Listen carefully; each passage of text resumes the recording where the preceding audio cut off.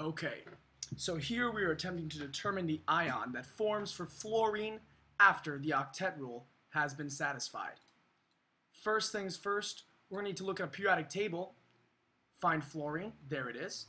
Fluorine has an atomic number of 9, indicating that it has 9 protons, and in its neutral state, 9 electrons as well. So let's draw fluorine for some reference and start to draw our Bohr diagram. Fluorine has nine, uh, atomic number of 9, indicating that we have 1, 2, 3, 4, 5, 6, 7, 8, 9 electrons.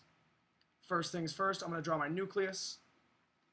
Given that only two fit in the first shell, I'm going to need a first and second electron shell. Here's our first. Here's our second.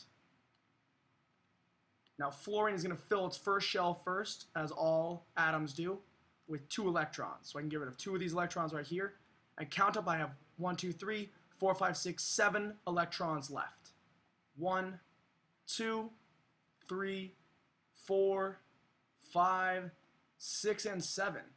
Now given that the octet rule would state that fluorine needs eight electrons in its outer electron shell to be satisfied, I'm going to need to add one more electron right here.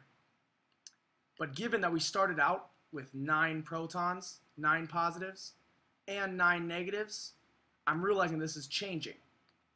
So with the addition of one more electron, this is now 10 negatives, which means that I have nine positives, 10 negatives, giving me one extra minus. If I have one extra minus, fluorine is going to become an F1 minus ion. If you're curious, this is an anion, indicating that it's an ion with a negative charge. I hope this helps.